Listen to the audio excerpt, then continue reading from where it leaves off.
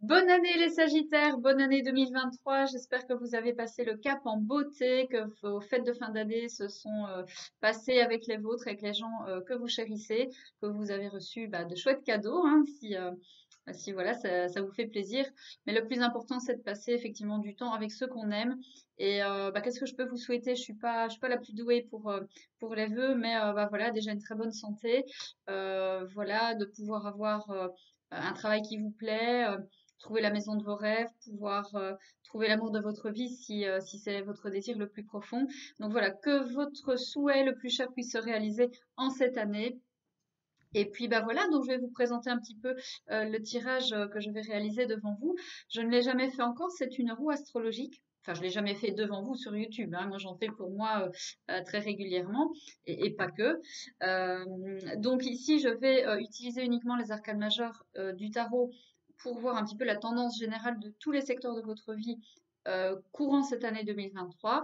Et je vais ensuite faire un deuxième tirage avec l'oracle des fées pour voir au mois par mois la petite tendance de votre mois et éventuellement avoir un événement qui peut euh, ressortir.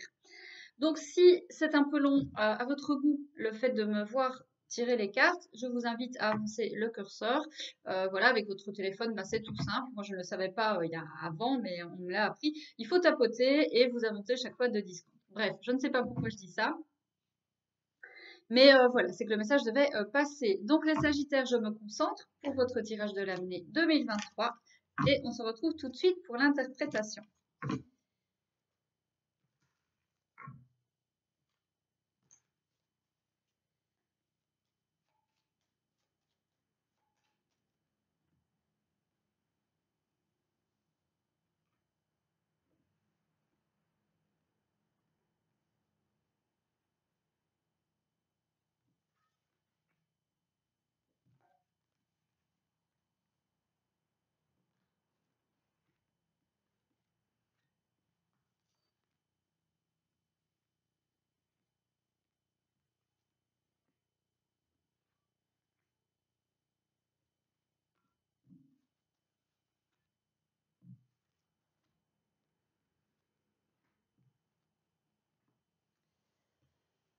Alors, je vais bien sûr replacer euh, vos cartes pour que vous puissiez bien les voir.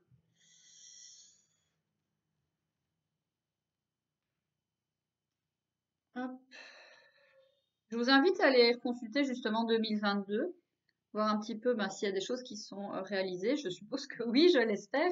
Et puis vous mettez un petit commentaire hein, sous la vidéo de votre année 2022. Donc, avant de commencer, bah, tout pareil, je vous invite à euh, bah, écouter d'abord hein, bien, et ensuite vous pouvez la réécouter, prendre un petit carnet, noter un petit peu les tendances générales, y revenir régulièrement, hein, 3-4 fois par an, voire plus, pour réécouter, voir ce qui s'est passé, ce qui ne s'est pas encore passé.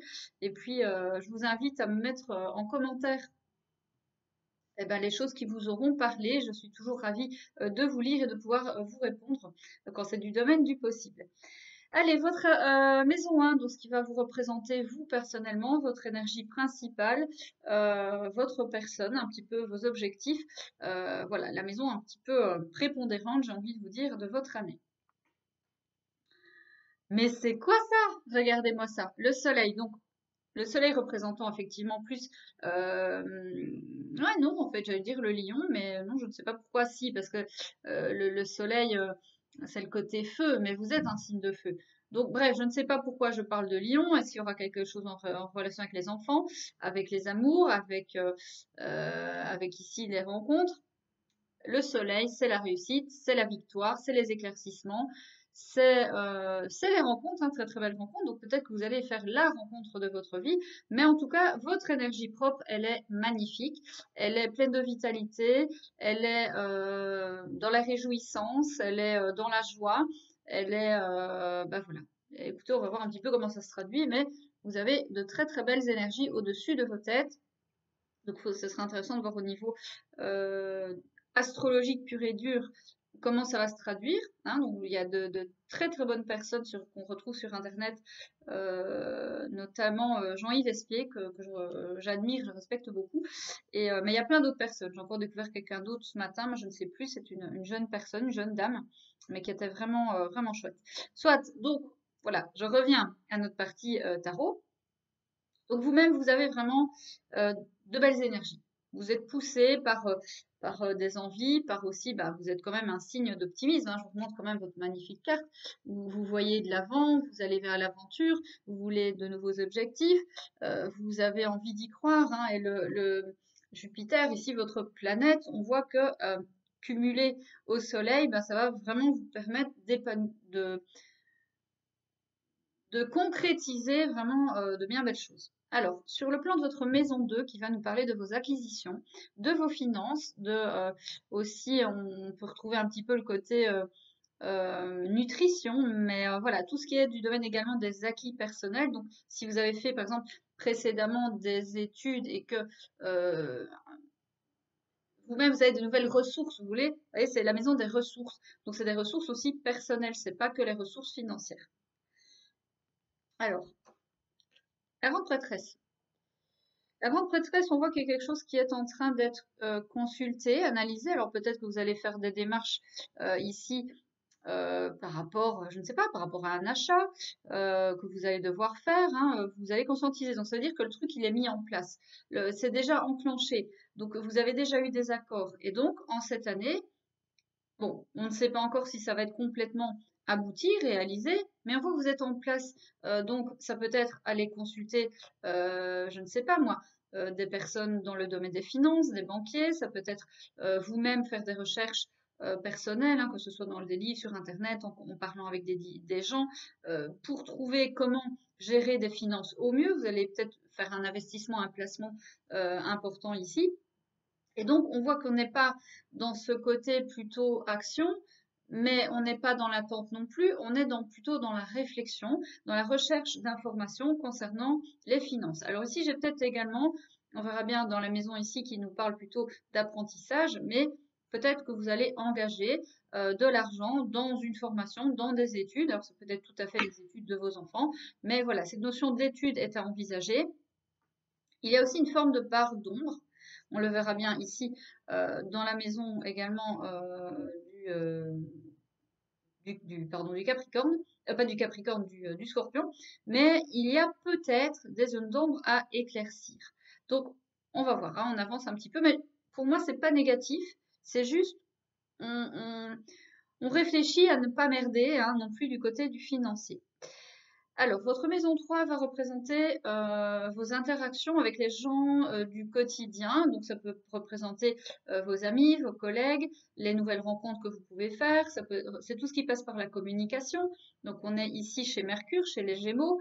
Donc, ça peut représenter également les apprentissages, les formations mais de courte durée, hein, pas les grandes, les grandes ici qu'on va voir plutôt chez le Sagittaire. Et ça représente également tout ce qui est concernant les petits déplacements. Le monde, on parlait de déplacement. Nous avons le monde, donc qui nous montre qu'il y a vraiment quelque chose en lien avec euh, l'achat d'un bien à l'étranger. Donc il y a euh, beaucoup de va-et-vient, il y a des voyages, il y a des déménagements cette année. Donc pour le Sagittaire et des connexions aussi avec des personnes euh, de l'étranger. De nouvelles personnes vont rentrer dans votre vie et certaines vont également en sortir.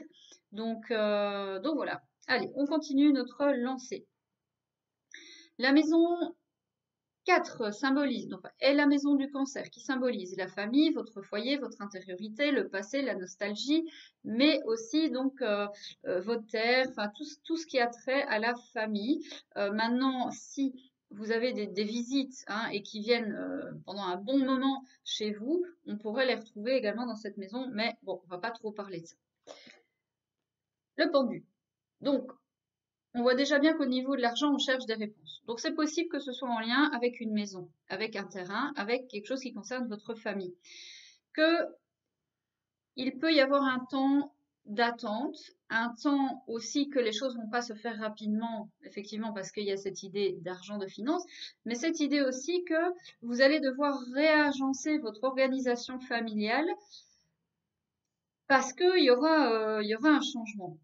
Et donc, ça peut se traduire par un déménagement tout à fait. Mais il y aura cette attente, ce blocage, euh, un moment de sacrifice encore avant d'être pleinement épanoui. Et pour moi, c'est par rapport effectivement à cet argent. Alors, peut-être qu'il y aura aussi, hein, si c'est pas par rapport à l'argent, une problématique, on va le voir dans les autres maisons, avec quelqu'un de votre famille et qu'il faudra arranger les bidons, enfin essayer de soit de vous-même, entre guillemets, vous mettre en mode sacrifice pour cette personne, que vous devez trouver des solutions par rapport à un membre de votre famille, chers amis Sagittaires. Alors, justement, la maison ici, on est chez le lion. Tout ce qui concerne euh, les amours, les, passions, euh, la créativité, les enfants. L'empereur. Alors, rencontre, il y aura euh, pour les célibataires. Pour les couples, eh ben, on voit peut-être qu'il y a une problématique par rapport à un homme ici. Euh, on verra bien ici dans la maison, parce qu'ici les couples, on, va plus vous retrouver dans, la maison la balance. Mais au niveau des amours, il y aura aussi certainement quelque chose à recadrer. Euh, il faut planifier. On voit bien au niveau des finances, il y a des recherches à faire, il faut planifier. C'est pas tout de suite, ça prendra du temps, mais il y aura une réussite sur vous. Donc pour moi, pas de panique. Euh, il y aura bien un mouvement si c'est votre désir par rapport à un étranger, ça se fera. Mais voilà, il faut structurer, il faut planifier, il faut revoir un petit peu la situation.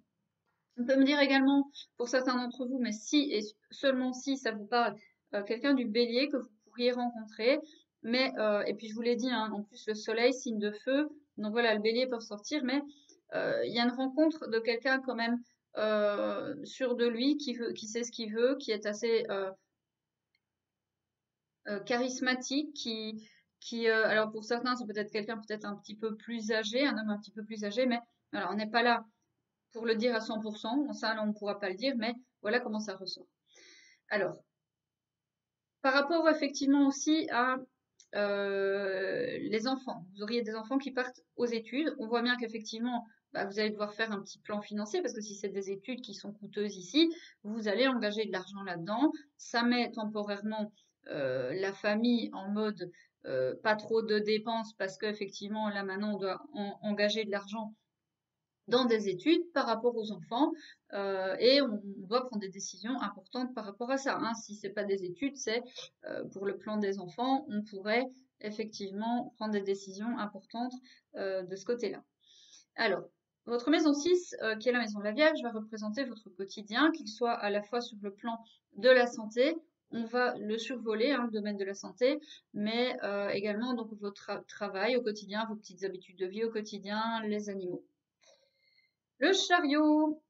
Alors le chariot, donc on voit bien que là, euh, pour ceux qui ont euh, demandé euh, des mutations, pour ceux qui attendaient un emploi, pour ceux qui, qui, avaient déjà commencé un travail personnel par rapport à un travail, bah, on voit que vous allez changer si tel est votre désir. Alors si ce n'est pas un changement, on voit qu'il y, qu'il y aura une avancée personnelle qui va vous permettre ici bah, je pense de gagner plus d'argent. Hein. Le chariot, c'est quand même quelque chose qui, est, qui évolue positivement. En tout cas, il y a un grand succès sur votre quotidien. Donc votre quotidien, c'est aussi les changements. Votre quotidien va être changé par, par un changement, par une mutation, par un déménagement. C'est changé par le mouvement. Alors, au niveau de la mobilité, il y aura peut-être quelque chose aussi au niveau de la santé. Vous allez voir au niveau de vos jambes. On va voir un petit peu, mais euh, voilà. Au niveau de la mobilité, peut-être faire attention. Alors, au niveau, euh, qu'est-ce que je peux encore vous dire? Euh, Oui, je veux dire, niveau de compagnie, il y a peut-être l'entrée l'arrivée euh, d'un nouvel animal de compagnie hein, que vous allez aller chercher, chers amis. Et qu'est-ce que je peux vous dire? Bah, Écoutez, plutôt positif hein, de ce côté-là. On va voir maintenant du côté de la maison de la balance qui va représenter votre interaction avec les autres, donc les mariages, les associations, les unions, les pax, les relations longues, hein, les relations longues. Ermite. Alors, il y a une forme euh, d'isolement. S'il y a une forme d'isolement du côté des autres ici, on voit bien qu'il euh, peut y avoir une préoccupation du côté de l'homme par rapport à un homme. Euh, ce que je peux vous dire, c'est que déjà, il y aura des éclaircies, ça va se débloquer. il ne va pas rester trop longtemps dans, dans, le côté nébuleux, donc surtout ne vous, ne vous tracassez absolument pas. J'ai également, donc comme je vous avais dit, les célibataires vous avez l'énergie du bélier qui ressort, mais il y a également l'énergie de la Vierge.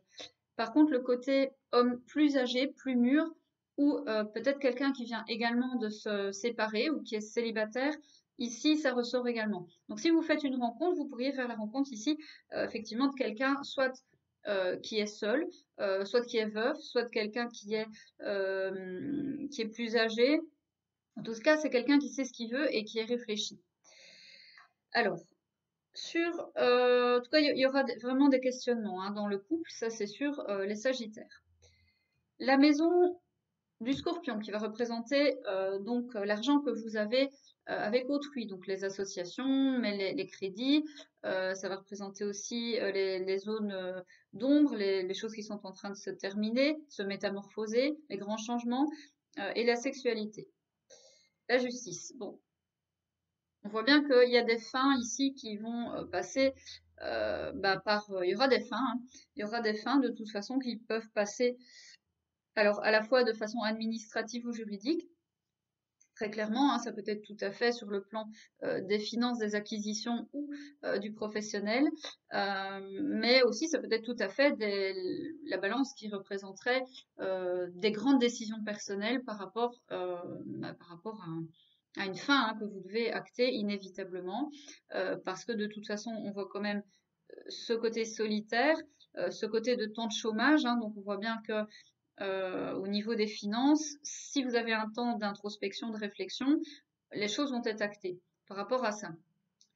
Alors, par rapport à la maison, euh, ici, donc nous sommes chez le Sagittaire, donc votre maison, comment ai-je pu ne pas euh, venir de, suite dessus? Euh, donc ici, votre maison, la spiritualité, euh, euh, les, grandes études, les formations, le droit aussi, hein, on va retrouver le droit ici, l'inconnu, hein, l'inconnu qui vient à vous. vous allez dire, bah, tout le reste aussi, l'inconnu, moi je me fais souvent cette réflexion aussi, mais voilà, quelque chose que si c'est des rencontres, c'est des gens que vous ne connaissez pas encore. Alors, le Sagittaire, la force. Donc on voit bien que, tout comme le pendu sur le plan de la famille, d'un terrain, il y a un peu de patience, mais avec la force, on voit que vous êtes en bonne, position euh, pour, euh, bah, pour être euh, en force par rapport à ça, hein, si tel est votre désir de, déplacement, de changement. Alors il y a aussi cette idée que l'inconnu pourrait vous, vous être bénéfique cette année et l'évolution magnifique le monde.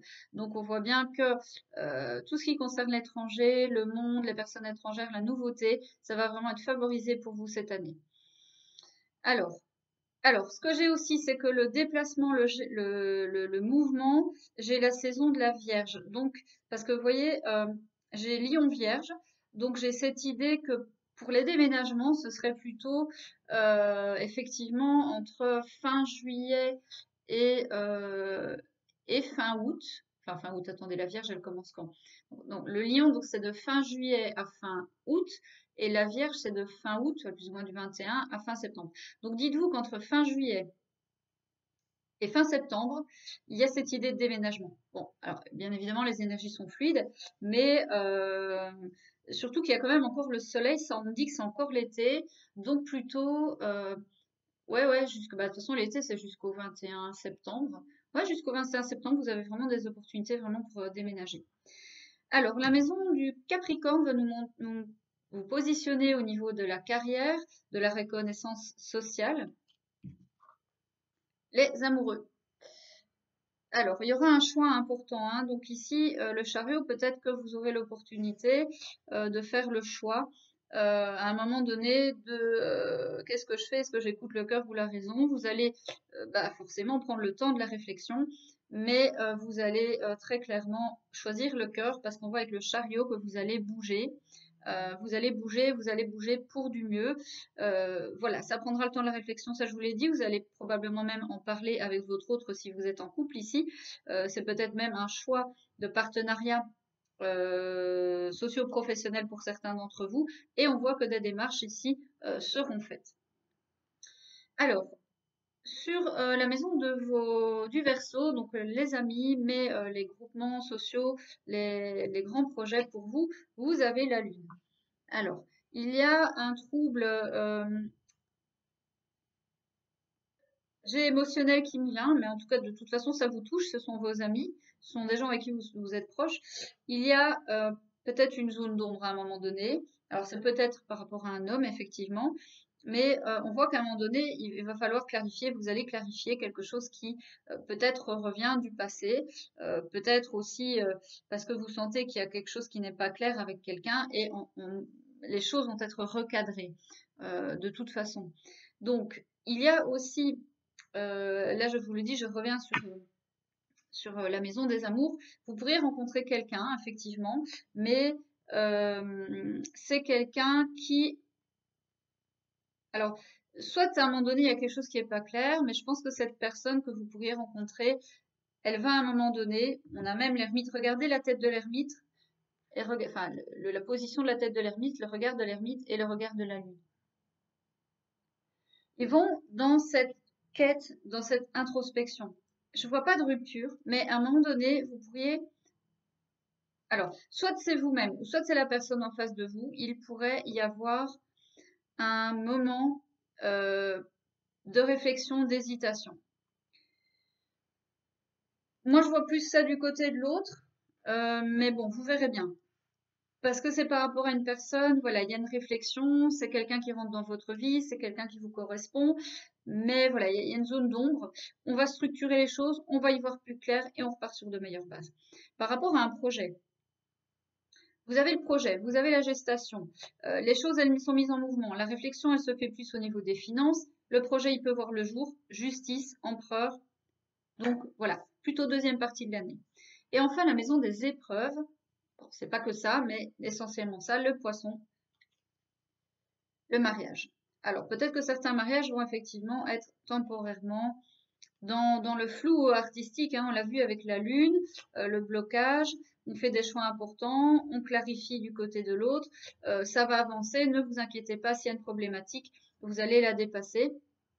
Alors il y a peut-être cette idée aussi pour certains d'entre vous que euh, si c'est une association euh, bah, du côté des finances, une association professionnelle ici, bah, ça peut être temporairement de nouveau bloqué parce qu'il faut d'abord faire le point sur le plan du foyer, sur le plan des finances également, donc ça va pas, le contrat, on voit qu'il va se faire, le déplacement, on voit qu'il va se faire, l'achat, euh, on voit qu'il va se faire, mais pas facilement, euh, pas de façon fluide. Ok? Allez, maintenant on va voir euh, votre tirage au mois par mois avec l'oracle des fées. Alors, je le dis parce que en fait, je l'ai pris, je vais le prendre pour tous les signes. il y a juste eu pour la balance, je ne sais pas pourquoi. Mais moi, je suis comme ça, vous, me connaissez. Et pour les personnes qui me découvrent, ben, j'ai pas de règle. Si ça me tente de prendre un autre oracle à ce moment-là, ben, je le prends. J'ai pris l'oracle G. Voilà. Ça, c'est dit avant qu'on me fasse la réflexion. Allez, on va voir un petit peu pour vous, au moins par mois, les Sagittaires.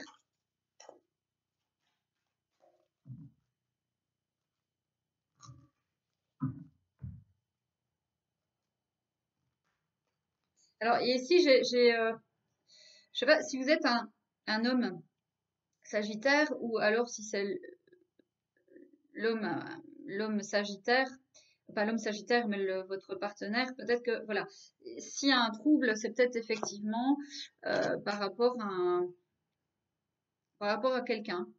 Hein, euh, par rapport à quelqu'un euh, qui, qui, qui, bloquerait un petit peu le familial. Est-ce que, est-ce que lui, il se, m'en cause un petit peu son, mariage. je ne vais pas m'étaler là-dessus, mais voilà, ça peut arriver. Allez, le mois de janvier des Sagittaires, s'il vous plaît. Le fils. Le fils, il y a quelque chose avec un de vos fils, ou euh, si, vous n'avez pas d'enfant, peut-être pas de fils, euh, peut-être que, donc prenez enfant si vous avez une fille, mais euh, c'est peut-être avec une très jeune personne ici. Votre fils est protégé et surveillé tandis qu'il explore le monde. Plus le soleil, il y a quand même cette idée d'enfant ici, donc il y a peut-être quelque chose avec un enfant au mois de janvier. Peut-être que vous avez un anniversaire euh, d'un de vos fils au mois de janvier. Dans ce cas-là, ben, très bon anniversaire à lui. Allez, pour euh, le mois de février. Le vœu exaucé.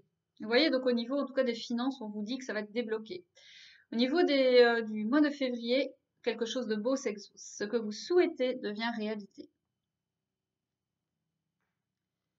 Peut-être que vous trouvez également une formation euh, qui vous est totalement, euh, ça fait des, mois que vous cherchez, vous ne trouviez pas, puis vous tombez sur la bonne personne. Hein.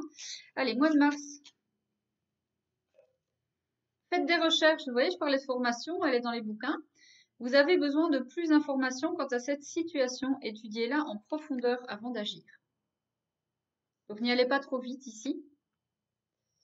Alors, mois d'avril, ici, les Sagittaires.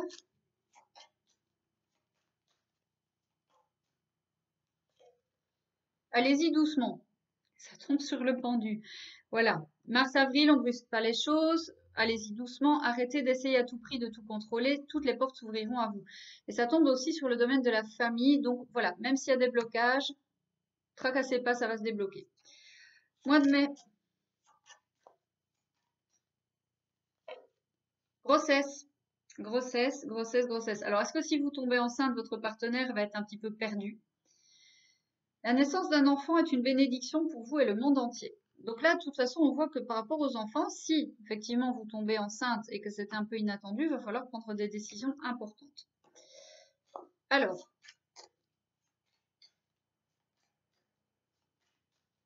votre mois de juin. Soyez vous-même.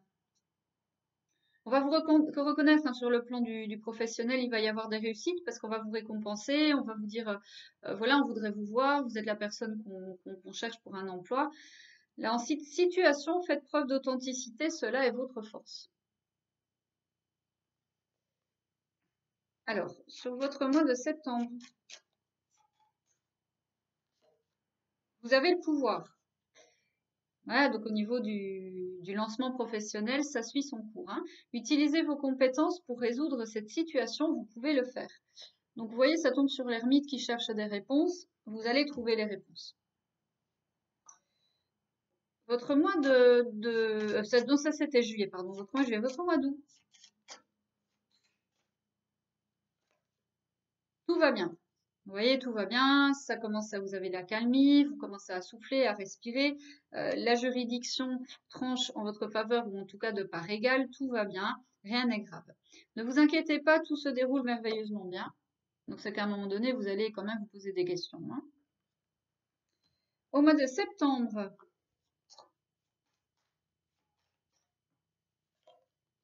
le pouvoir des fleurs. Alors c'est intéressant parce qu'elle ressort beaucoup cette carte.